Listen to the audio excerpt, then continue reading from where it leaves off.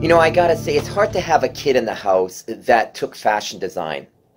It, it's tough because my thinking is if it fits, if it's comfortable, then it's fair game to wear.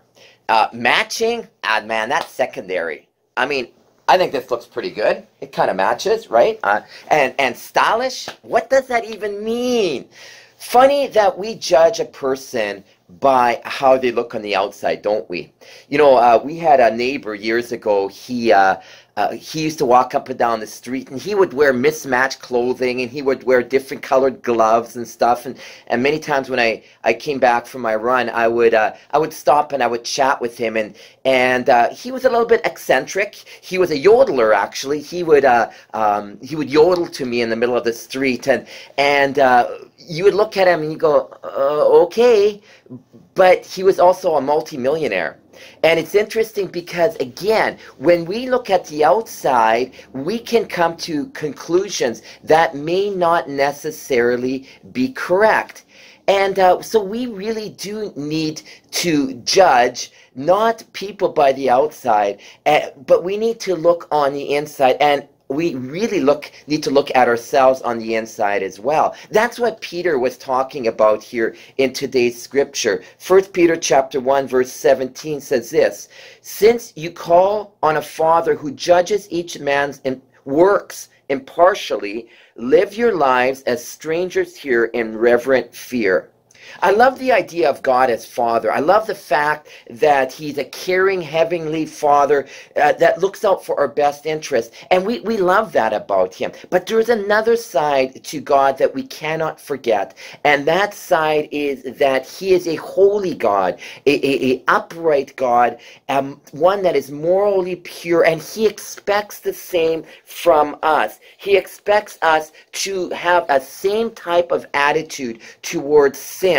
See, here's the thing. Many times we kind of we kind of overlook sin and we don't think it's such a big deal. But see, to God it's a very very big deal. It was sin after all that slammed his son on the cross. Someone once said, Years of obedience cannot purchase an hour of disobedience. We are called to live in purity. We are called to live a life that honors God because He cannot tolerate sin.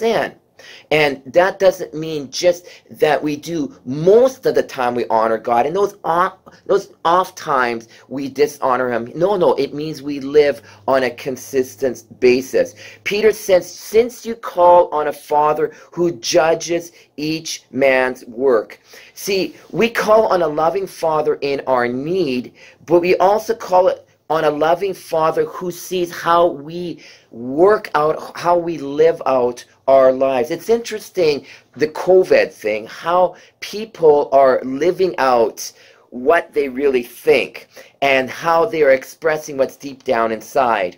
I, uh, uh, I love Natalie Grant and Bernie Herms. And if you don't know them, they're singers. They, uh, Bernie is an incredible pianist. Uh, actually, I grew up with him. And uh, what they have done is they have done nightly songs of encouragement from their homes. What's inside is showing on how they express themselves on the outside. Take that and you look at another singer, some of you may know by the name of Britney Spears, who not so long ago came out by saying that uh, she had burnt down her her gym in, uh, by being careless with some candles, and uh, uh, it shows you the difference in attitude, the way a person thinks, and the way a person acts. See, God sees our exterior. He sees what's deep down in our heart, but He also sees how we acted out out there in our lives. I'm wondering, how are we? How are we living our lives? See, because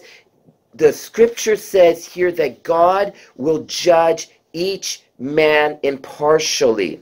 See, one day we will stand before what is known as the judgment seat of Christ, and God will examine our works, not to condemn us, but to see how they glorified Him and to reward us accordingly. And I hope that we are living in a way that honors Him and glorifies Him. Romans chapter 2, verse 6 says, God will give to each person according to what he has done. So Peter says here, Live your lives as strangers here on, on this earth in reverent fear.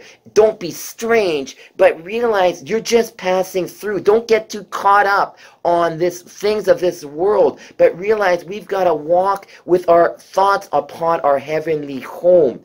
And and the important is thing here is live in reverent fear. Reverent fear of god meaning respect and awe and honor of him.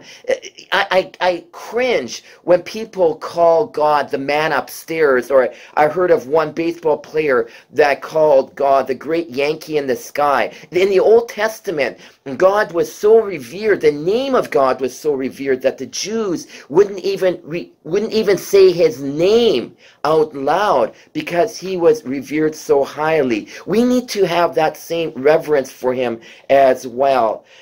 Folks, live in a way that honors him.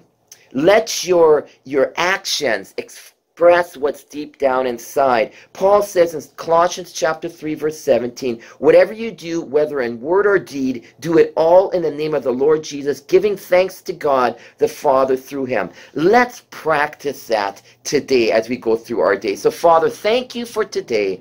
Thank you for your people. Thank you that you see our works. Thank you you see our lives. Help us to live in a way that pleases you, that honors you, that brings attention to you today. And we ask all this in Jesus' name.